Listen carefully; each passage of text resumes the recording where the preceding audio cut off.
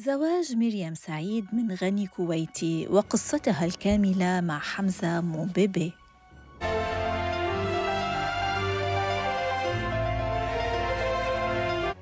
هذه كانت خطوبة مريم سعيد الأولى على خطيبها السابق المغربي كريم. لكن هذه الخطوبة لم تكتمل بسبب دنيا بطمة وحساب حمزة موبيبي لكن مريم عادت وتزوجت من غني كويتي. حضنها بعد أن تركها خطيبها المغربي. لكن ما هي قصة دنيا ومريم؟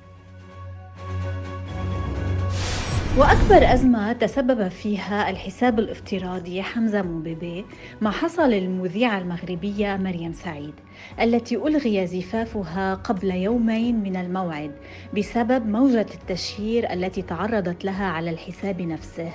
فكانت مريم تشارك جمهورها خلال برنامجها إي تي بال العربي مراحل تحضيرات زفافها.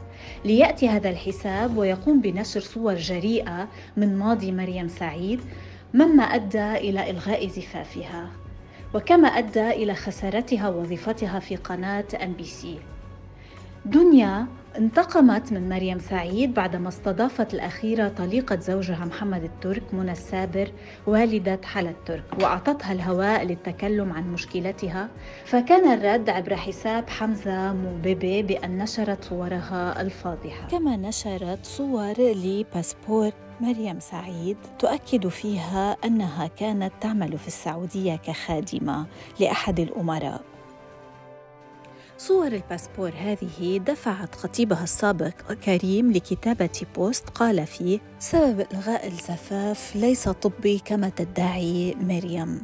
والدها بصحة جيدة لكن السبب أخلاقي. كريم عاد وتزوج مغربية أخرى شبيهة بمريم سعيد. ومريم تزوجت من ثري كويتي. تعرضت الأذى وكانت من الناس اللي تأذت بزاف هي مريم سعيد.